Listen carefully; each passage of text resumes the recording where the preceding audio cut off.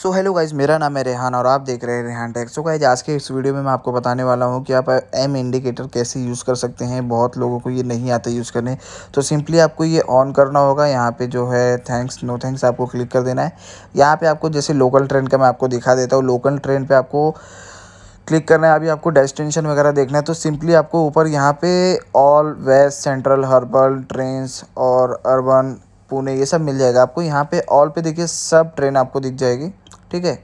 So guys ये जितने भी नाम लिखे इस पर आप क्लिक करके देख सकते हैं। अगर आपको डायरेक्ट देखना है तो आपको ट्रेन्स पे क्लिक करना होगा। देखिए, वहाँ ऊपर टी लिखा हुआ है एच के बाजू में। टी इस पर आपको क्लिक करना है सिंपली ये देखिए, इस पर। इस पर क्लिक करने, यहाँ पे आपको सब ट्रेन के नाम मिल जाएँगे। जो भी ट्रेन जहाँ पे भी जाती है, ठीक है? मतलब जो नेम से ट्रेन है, वो मिल जाएगा आपको और मेन मेन डेस्टिनेशन मिल जाएगा। अभी मैं थाने से जैसे देख लेता हूँ, देखिए। अभी मैं ऑल पे क्लिक करके मैं रहता हूँ कुरला में। मैं कुरला क्लिक करता हूँ, ठीक है? मैं इस जगह रहता हूँ। अभी मुझे यहाँ से समझ लीजिए सीएसटी जाना है, ठीक है?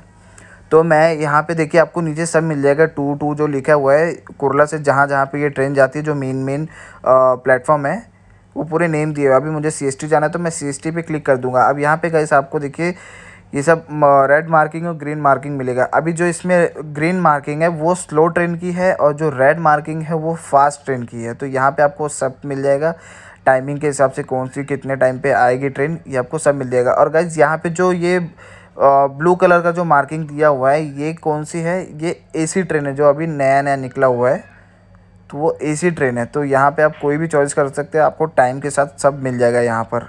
ये देखिए, ये जो ब्लू वाला है, ये एसी ट्रेन के लिए है और जो रेड है, वो फास्ट ट्रेन के लिए है और जो ग्रीन है, वो स्लो ट्रेन के लिए so thank for watching my video please like and subscribe thank you